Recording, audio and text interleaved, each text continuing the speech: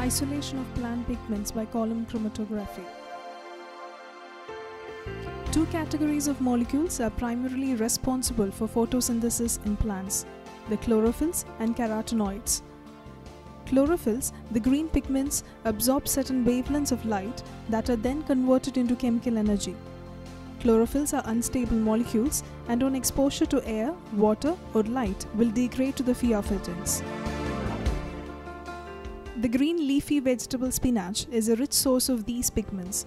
The chlorophylls present in spinach are chlorophylls A and B.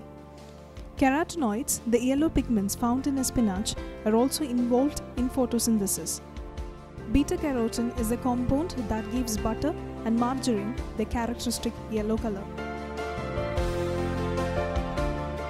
In this experiment, we will use the technique of column chromatography to separate the pigments from the leaves of spinach.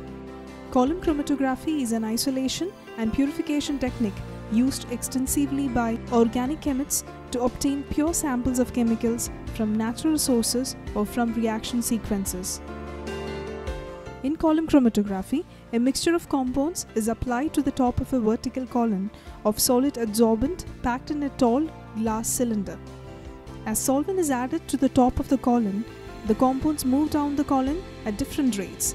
If the compounds are colored, as in our case, the progress of the separation can simply be monitored visually. The spinach extract is prepared by first grinding fresh spinach using a mortar and pestle and then extracting it with hexane acetone mixture in the ratio 1 is to 1. This crude extract is filtered and anhydrous sodium sulfate was added to remove the traces of water. This extract is once again filtered and adsorbed on about 3 gram of silica gel and dried to afford a free-flowing silica gel with the crude extract and adsorbed on it. A chromatographic column is packed with about 25 gram of silica gel in hexane and the crude extract adsorbed on silica gel is added to the top carefully. The column is then run using hexane. When the non-polar beta carotene will elute out first is a yellow band, it is collected in small conical flask as it flows out of the column.